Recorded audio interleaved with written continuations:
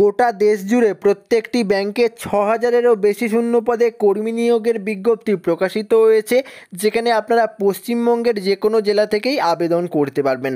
এখানে আপনারা কীভাবে আবেদন করবেন, কবে লাস্ট ডেট কী কী যোগ্যতা প্রয়োজন, আবেদন করার জন্য আপনার শিক্ষাগত যোগ্যতা কী দরকার, সমস্ত কিছু আজকের এই ভিডিওটির মাধ্যমে জানাব।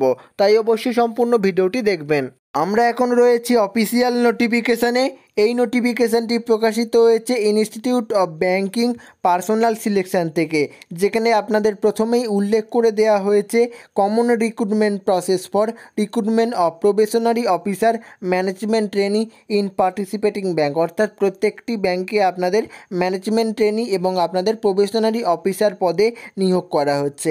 আপনাদের এখানে কোন কোন ব্যাংকে নিয়োগ করা হচ্ছে দেখুন।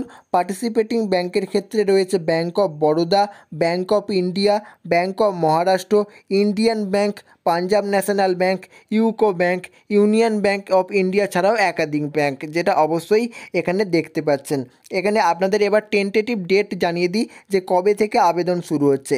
আপনাদের অনলাইনে আবেদন করতে হবে, যার আবেদন প্রক্রিয়া শুরু হচ্ছে দোসরা আগস্ট দু হাজার বাইশ থেকে এবং আবেদনের শেষ তারিখ রয়েছে বাইশে আগস্ট দু হাজার বাইশ। এখানে আপনারা বাইশে আগস্ট পর্যন্ত আবেদন করতে পারবেন।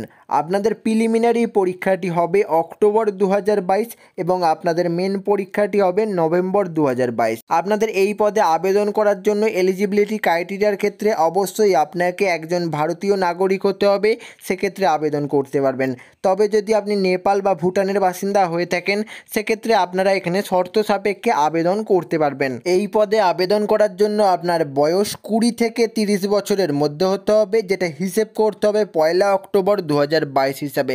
সেক্ষেত্রে আবেদন করতে পারবেন। অর্থাৎ আপনার জন্মসাল যদি দোসরা আগস্ট উনিশশো বিরানব্বই থেকে পয়লা আগস্ট দু হাজার দুইয়ের মধ্যে হয়ে থাকে, সেক্ষেত্রে আপনি আবেদন করতে পারবেন। তবে আপনি এসসি, এসটি, ওবিসি হয়ে থাকলে আপনি সরকারি নিয়ম অনুযায়ী বয়সের ছাড় পেয়ে যাবেন। এই পদে আবেদন করার জন্য আপনার শিক্ষাগত যোগ্যতার ক্ষেত্রে অবশ্যই আপনাকে স্বীকৃত বিশ্ববিদ্যালয় থেকে গ্র্যাজুয়েশন পাস করতে হবে এবং তার সার্টিফিকেট রাখতে হবে। সেক্ষেত্রে আপনি আবেদন করতে পারবেন আপনাদের যে প্রিলিমিনারি পরীক্ষা এবং মেন পরীক্ষাটি হবে, তার সিলেবাসটি এখানে মেনশান করা রয়েছে। প্রিলিমিনারি পরীক্ষার ক্ষেত্রে রয়েছে ইংলিশ ল্যাঙ্গুয়েজ কোয়ান্টিটিভ অ্যাপটিটিউড এবং রিজনিং অ্যাবিলিটি এই সকল বিষয় রয়েছে যার প্রশ্ন বিভাজন অবশ্যই এখানে উল্লেখ করা রয়েছে।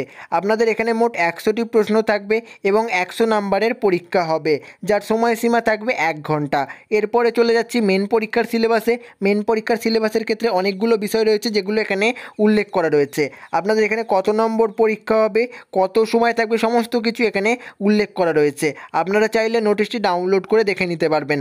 আপনাদের সুক্ষেত্রে এই ভিডিও ডেসক্রিপশন বক্সে নোটিশটার লিঙ্ক থাকবে। এখানে আপনারা কীভাবে আবেদন করবেন দেখুন, আবেদন করতে হবে সম্পূর্ণ অনলাইনের মাধ্যমে। আবেদন প্রক্রিয়া শুরু হয়েছে দোসরা আগস্ট দু হাজার বাইশ থেকে এবং আবেদনের শেষ তারিখ রয়েছে বাইশে আগস্ট দু হাজার বাইশ পর্যন্ত।